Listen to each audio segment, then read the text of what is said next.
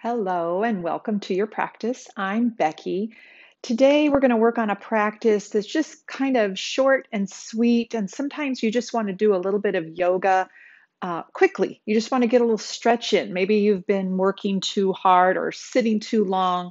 So today's going to be a practice kind of unscripted. I'm just going to get on my mat and just take you through whatever I would do when I get on my mat. So I'm going to keep it nice and short, nice and simple. And so let's get started down on our back. This is what I would do if I just wanted to do a little practice on my own. So come down onto your back. Let's start with knees bent. Tuck your chin a little bit. Separate the feet about hip width apart, arms at your side, palms up. And I'm just going to ask you to lay here and let the body start to soften from whatever you've been doing, sitting or a lot of work, or you've been busy or not busy. Just let the body kind of slow down. Feel the feet on the mat. So even just wiggle the toes a little. Feel the feet on the mat. Feel the backs of the arms on the mat. And we'll loosen up the hips and low back. So let's rock the hips and the knees a little side to side, just a little rocking motion to loosen up the hips, the back, the legs. Good. And we'll bring the knees to center. Let's inhale. With your exhale, bring the right knee into the chest. We'll hug the knee. Couple breaths. So, this is great just to help release any tension in the back. We'll stretch the right foot up to the ceiling. Circle the right ankle in one direction, loosen up that ankle joint. Circle in the opposite direction.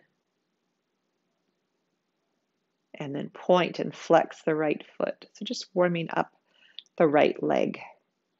Keep the right foot flexed. Exhale, bring the right knee into the chest. Relax the shoulders, retuck the chin a little bit. Let's stretch the left leg out on the mat. Lengthen the left leg from the hip all the way down through the bottom of the foot. Both feet are flexed. Big breaths into the low belly. Let's rebend the left knee, bring the left foot to the floor, bring the right foot to the floor, and we'll rock the hips and the knees a little side to side. Just balancing that out. Bring the knees to center. Inhale with your exhale, we'll bring the left knee into the chest. Hug the knee, tuck the chin, relax the shoulders. Couple breaths. Then we'll stretch the left foot up to the ceiling. Circle the left ankle.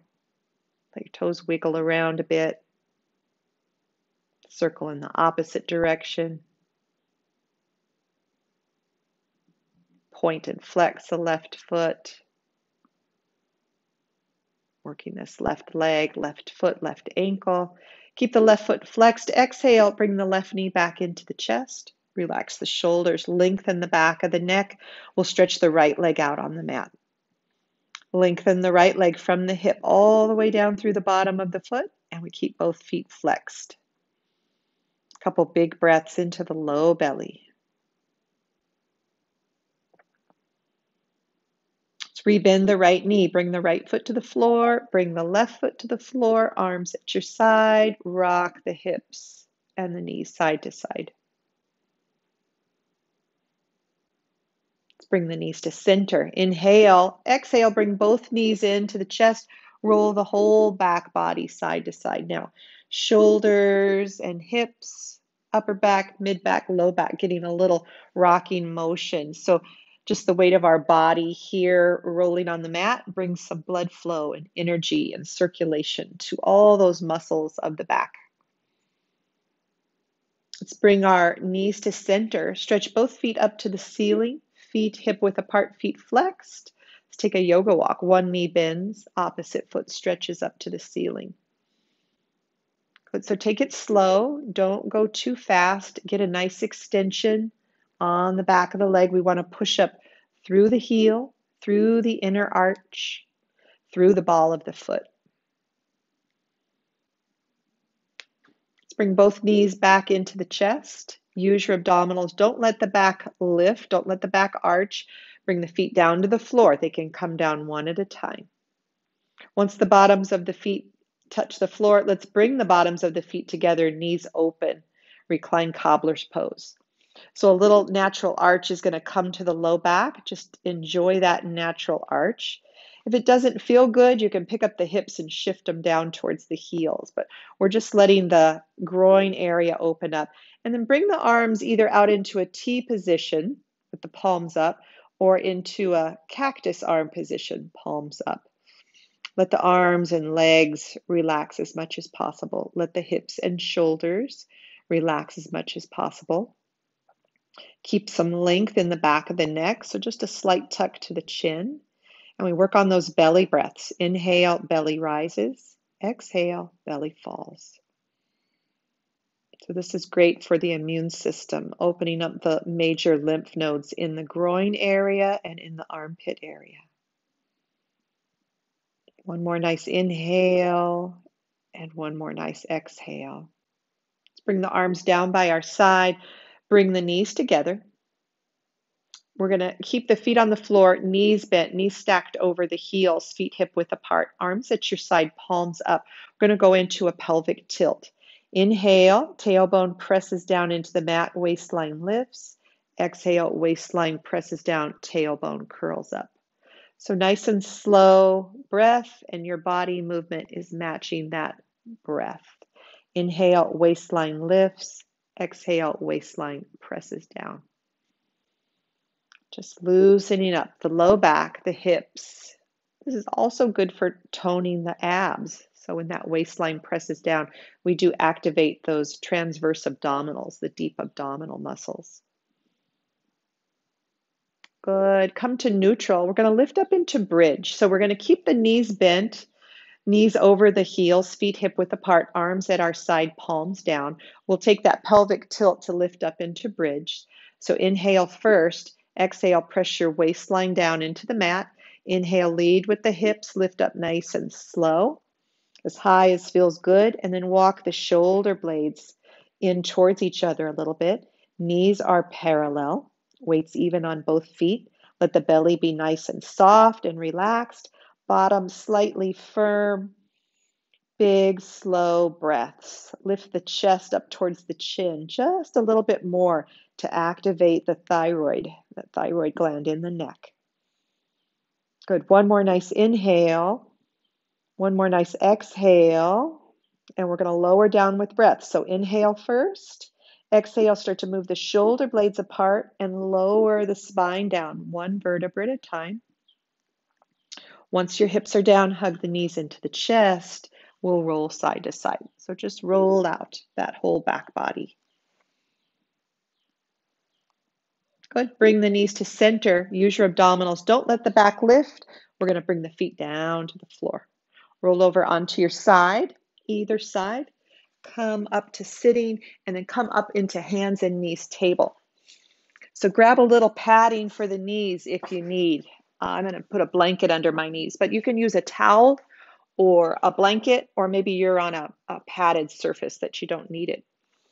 We'll be in table pose, hands and knees, wrists under the shoulders, knees under the hips. Take a look at the fingers. Index fingers are parallel to each other. The other fingers spread out from there. We're going to go into cat cow breath. Exhale, round the spine up. Inhale, arch the spine.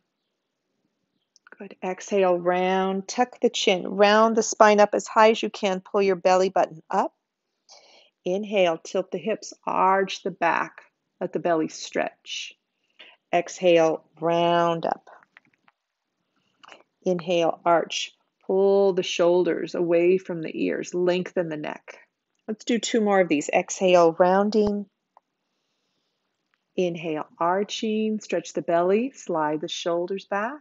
One more. Exhale, round. Inhale, arch. And then shift back into child's pose. Big toes barely touching. Let the knees separate apart. Let your forehead rest on stacked hands or the mat or on a yoga block. Take some nice, big, slow breaths into the belly, but also into the back body. So feel those back ribs expand with the inhale. From child's pose, we'll go into downward dog. Stretch the hands as far forward as they'll go. Your elbows should be up off the mat. Come up into hands and knees. Walk the knees a little closer together. Take a look at the hands. Those fingers, index fingers, are still parallel, fingers spread. Wrists should be forward from the shoulders. Hands at least as wide as your shoulders or a little wider if you have tight shoulders. Curl the toes under. Inhale. With your exhale, lift up, shift back. Tuck the chin. Spread the toes out on the mat. Lift the shoulders up away from the ears. We'll take a little walk. Lower one heel, then the other heel. So one knee bends, opposite heel moves down towards the floor. Keep tucking the chin. Top of the head points towards the floor, not towards your hands. So we want that back of the neck long. Belly pulls in and up. We want to support the back, support the spine, working the legs. So, uh, downward dog is a really great all over body pose. It's a slight inversion, right? The head is lower than the heart, but we're strengthening arms and legs. We're lengthening the spine. We're working the core. Bring the heels level with each other and then come down to knees. Shift back into child's pose. Take a few wrist circles or wiggle the fingers. And then rest the forehead down on stacked hands or the mat or a yoga block. Wobble hips and shoulders a little side to side. Uh, just working the body, stretching it out, keeping the body moving and fluid. Make your way back up to hands and knees. Table. We're going to take three cat breaths. Wrists under the shoulders, knees under the hips. Exhale, round the spine. Inhale, arch. Two more. Exhale, round. Inhale, arch. One last one. Exhale, round. Inhale, arch. Come to neutral. We're going to make our way up to standing through squat pose. So curl your toes under. Start to walk your hands back till you're balancing on toes and fingertips. If you had a padding there or a blanket or a towel, scoot that off to the side. We're going to come up to standing through squat pose. So lift the hips up and lower the heels. And now widen your feet a little wider than the hips. Keep a nice bend in the knees. Bring hands up to above the knees. Squeeze the shoulder blades together, lifting the chest into a halfway lift. So chest is parallel to the floor. Shoulders squeeze together, belly button pulls in and up with strong legs, long spine, hinge all the way up to standing. Good. Once you're up to standing, adjust the clothing, shake it out a little bit. Separate your feet a little wider than the hips. We'll take a few little side swings. So, this is nice just to reset the body after uh, we've been down on the mat, working on the mat. We come up to standing, letting everything settle and balance. Good. We'll slow that down. We're going to take three sun breaths. So bring the feet hip width apart, knees and toes pointing straight ahead, arms at your side. Firm up your legs, pull the belly in, scoop it up under the ribs a little bit. Arms at your side. We're going to inhale, bring the hands up overhead. Exhale, we're going to lower the arms back down by our side. We'll take two more of those. Inhale, arms up, and the palms are up. Exhale, arms down, and the palms are down. Let's take one more. Inhale, hands up. Exhale, hands down. Keep the arms down by your side. A few shoulder rolls. Bring the shoulders up and back and down. Up and back and down. Good. As high up as far back, as far down as they'll go. And then we'll alternate one back and the other back, a little backstroke. We can hold a lot of tension in the upper back and in the shoulders. Good. Shake that out. We're going to go into warrior two pose. Take a wide leg stance on your mat. Right toes turn out to the right, left heel shifts back a little bit. So we want to line up our right heel, draw a line, it should intersect the left arch. Hips are even and we're going to bend the right knee, right knee over the heel. Shoulders over the hips. The right knee opens out to the right a little bit. Inhale, arms to shoulder level. Exhale, relax the shoulders, scoop the belly in and up. We'll turn and look over the right fingertips. Middle finger is your gaze point. Keep relaxing the shoulders down. So lift the heart and squeeze the shoulder blades together a little bit as you scoop the belly in and up and the weight's even on both feet, both legs. Let's exhale and lower the arms, straighten the right knee, parallel the feet. We'll take the feet in the other direction, left toes out to the left, shift the right heel back a little bit, and then line up left heel, right arch. We're going to bend the left knee, left knee over the heel. Get the hips level, so don't let that left hip drop. We want hips level, shoulders over the hips. Inhale, arms to shoulder level. Exhale, relax shoulders. Scoop the belly in and up. Turn and look over the left fingertips. Weight even on both feet. Lift the heart. Scoop the belly in and up. Squeeze the shoulder blades together a bit as you continue to take some big belly breaths. Good. We're going to exhale and lower the arms down, straighten the left leg, parallel the feet. We'll step the feet together. Let's take one sun breath, feet hip width apart. Inhale, hands up. Exhale, hands down. Good. And we're going to come back down to the mat. So, centering yourself on the mat, we're going to sit with the knees bent, feet on the floor, hands on the knees, a few seated cat breaths. Inhale, sit tall, long neck, long spine, little curve in the low back here. And then exhale, round back. Arms go straight, round the whole spine, pull the belly in, tuck the chin. Inhale, sit tall, lengthen. Exhale, lean back, round the spine, pull the belly in. So work your abs here a little bit. Inhale, sit tall. Exhale, round back. Let's do one more of those. Inhale, sit tall. Exhale, rounding back. And then coming up to sitting, bring the hands back behind you one at a time. Stretch the legs out. Just windshield wiper the feet a bit. And then we're going to make our way all the way down onto our back. So come down onto your back. Let's hug the knees into the chest and just roll side to side a couple times. Just kind of ironing out that back body. Bring the knees to center. Use your abdominals. Bring the feet down to the floor. Don't let the back arch. Always a good time to work the core a little bit. Going to go into a spinal twist for our last pose. Stretch your left leg out on the mat. Hug the right knee in. Both feet are flexed. Left hand on the right knee, right arm at your side, right palm is up. Inhale, with your exhale, take the right knee over to the left. So we roll onto that left hip. Now, if your right shoulder lifted, we want that right shoulder on the mat. So pick up the upper body, shift it over to the left to roll that right shoulder down onto the mat, or just lift your right knee higher. So, a couple big breaths. Breathe into the low belly. Breathe into this outer right hip and thigh and glute. Let your head be comfortable. Look straight up or over either shoulder. See what feels best to the neck. Keep both feet flexed. That's engaging the leg muscles, working the legs just a little bit, a little bit more. The main thing is those big breaths into the low belly. We're going to come out of this twist. Inhale, bring the right knee up, right foot to the floor. Bend the left knee. So both knees bent, feet on the floor. Adjust hips and shoulders so you're even on the mat. Right leg stretches out on the mat. Left knee hugs in.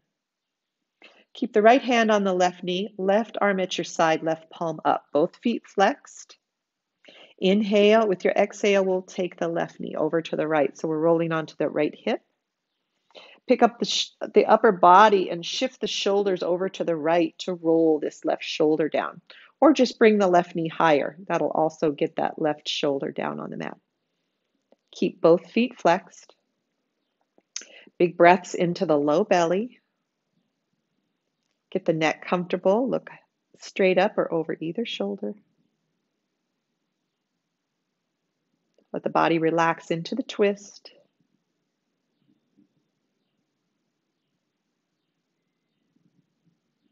Going to come out of the twist. Inhale, bring the left knee up, left foot to the floor. Bend your right knee, adjust hips and shoulders.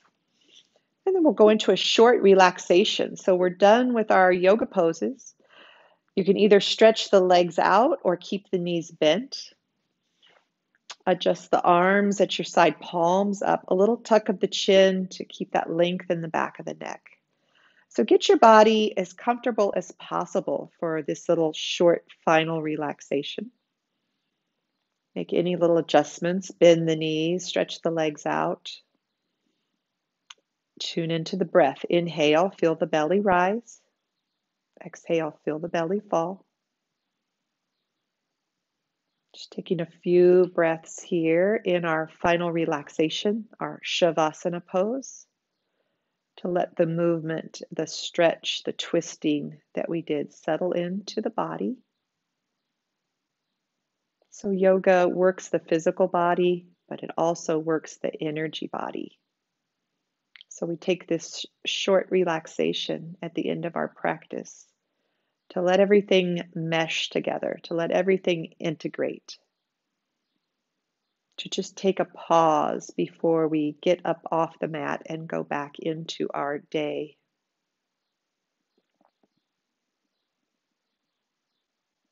Check that the eyes are relaxed and the jaws relaxed.